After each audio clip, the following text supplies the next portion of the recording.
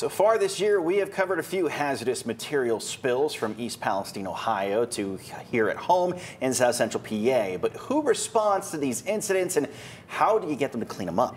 In this case, Tyler. But in this edition of Tyler Tries It, Fox 43's Tyler Hatfield heads over to York County Emergency Services in Springettsbury Township to learn what it takes to be part of the hazmat team.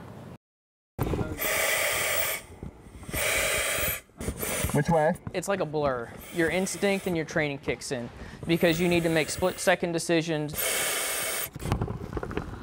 To get that training, I went to York County Emergency Services to learn how to be a part of their hazmat team. You're put in high risk situations, so you want to be motivated to be at the best of your game. Hazmat teams detect, contain, and remove any release of a hazardous substance. And the team here in York County says these high risk situations are becoming more common. Rail accidents, tractor trailer accidents are more prevalent. With that, we need to know how to be able to take care of the spills and protect the environment and protect the citizens. To get a feel for the job, Chief Dan Santwam had me suit up.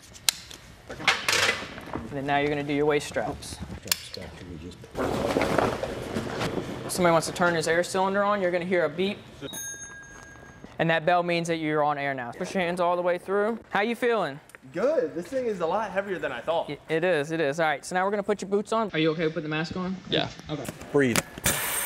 There you go, now you're on air. Just breathe normal. It's hot. The humidity goes through the roof. Once the suit was on, we got a first-hand look at a chlorine gas leak. We're going to inspect the tank and see if we can locate the leak So spray around the bottom here.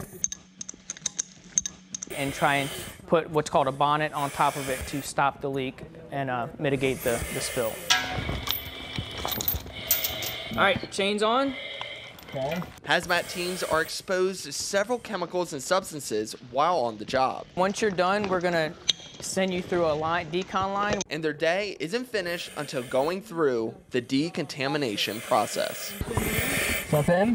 Put your hands up, turn. Someone's also going to be spraying you off. You're going to make sure that we're, you're clean and that once you take your suit off, you're not going to have any contaminants on your body. The job may appear to be physical, but it takes a lot of brain power to manage hazardous materials. This kind of is something where you really have to be able to use your mind more and be able to problem solve. The best part of working for Hazmat? The team? We work together, we go out to lunch, we do everything together. It's, it's a really tight knit kind of group. And never knowing what your next challenge will be.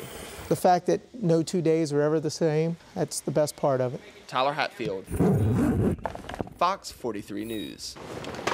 And if you're interested in joining the hazmat team, York County Emergency Management is holding a free hazardous material technicians course later this month. For more information, just head to our website, fox43.com. I think it's a good look for Tyler. Yeah. It's so it's so interesting because we know what the response is when they show up there, but you don't think about what they have to do after to make sure mm-hmm. that they're safe and the cleanup of the cleanup crew. yeah. And Very based off of what Tyler did, I think he already has the job. So. I also love how they have a training suit only. Don't take this one. That thing fogged up, and I started thinking about working through that. I mean,